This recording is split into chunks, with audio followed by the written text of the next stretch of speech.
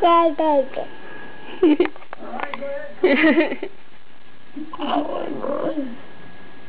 Holy cow. Guys, it is good. This is a lot down here. That's wood, and that's locked behind that wood. Who knows how many million yards of material behind there. You keep poking on up there. You go right, can't go no more.